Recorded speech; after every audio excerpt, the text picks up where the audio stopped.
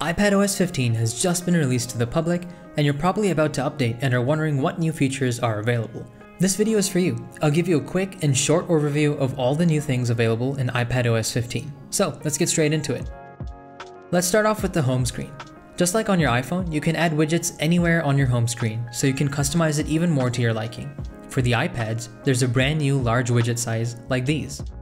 The app library also makes an appearance for iPad, finally, bringing over all the neat categorization of all your apps. There's new enhancements to the app switcher. If you've got apps open, you can create a multitasking window in the app switcher by just dragging an app over another one, like this. There's also enhancements to the multitasking menu, so instead of all the confusing swiping, at the top of every full screen window, you'll find these three dots with three options. One to make the app go full screen, one to make it hover, and another to bring it into split view.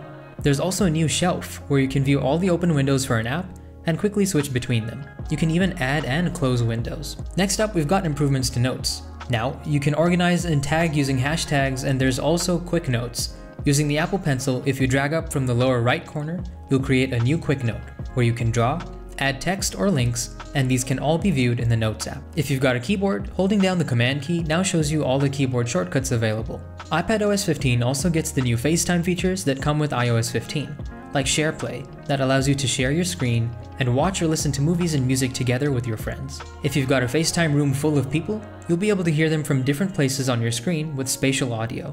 And there's also a new grid view, you can now schedule FaceTime meetings in the calendar and make FaceTime calls to friends and family who might have Android or Windows devices. During a FaceTime call, there's three new mic modes. One default normal one, and then voice isolation and wide spectrum. Voice isolation minimizes background noise and puts your voice front and center. And when the music or sounds around you are just as important as what you've got to say, wide spectrum leaves the ambient sound unfiltered. There's also a new option to turn on portrait mode during the call, which blurs the background very well. The Messages app has also received some improvements. When you send a bunch of images, instead of fully populating the chat, it forms a nice stack that you can swipe through. There's also a new feature called Shared with You. For example, if someone sends you a link, when you open Safari, you'll be suggested to open that link. If someone sends you a photo, you'll find it in the Photos app.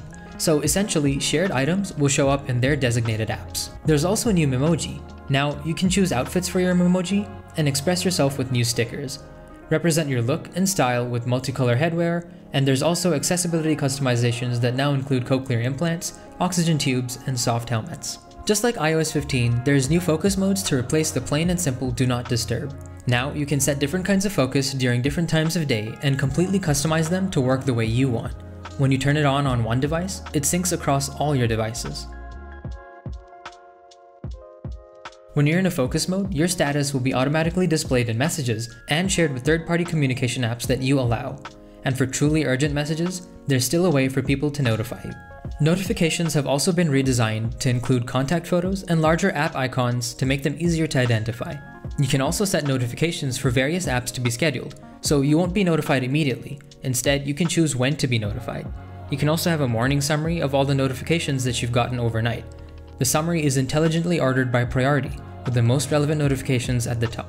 As you may have heard, Safari also has a fresh new look. And with the new feature called Tab Groups, you can save and organize your tabs in the way that works best for you, and switch between them easily. Tab Groups sync across devices, so you have access to your tabs from anywhere. You can also install Safari extensions on your iPad, and just like on Mac, you can choose when the extensions will be active. Maps also has new features. There's an all-new city experience, so you can explore cities with roads, neighborhoods, trees, buildings, and more in great detail. You can see 3D landmarks in both day and dark mode. There's also new transit features and a new interactive globe with new enhanced details for mountain ranges, deserts, forests, oceans, and more. A lot of the time there's a lot of rich information in your photos like text and objects. iPadOS 15 uses secure on-device intelligence to help you discover more in your photos. There's now live text in Photos, which intelligently unlocks rich and useful information in images, so you can make a call, send an email, or look up directions with just a tap on the highlighted text in a photo.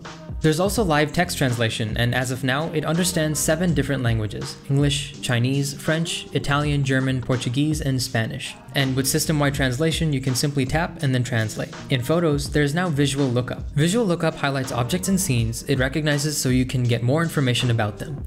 With Visual Lookup, you can quickly learn more about art, landmarks, nature, books, and pets simply by tapping a photo on your device or on the web. There's also big improvements to Spotlight Search on the iPad, which now shows you rich results and also gives photos as results. It'll show you more information at a glance, with new rich search results for artists, entertainers, TV shows, and movies, as well as your contacts. And you can now search your photos in Spotlight, and even search based on text in your photos by using live text. There's also an addition to Photos, bringing interactive memories which introduces a new, interactive immersive interface along with new memory mixes that let you personalize the look and feel of your story with the song and vibe to match, and you can pick your music from Apple Music. There's also improvements to privacy, and now your iPad will show you an app privacy report, which will show you how apps are using the permissions that you've granted them, and which will help protect you from unwanted data collection.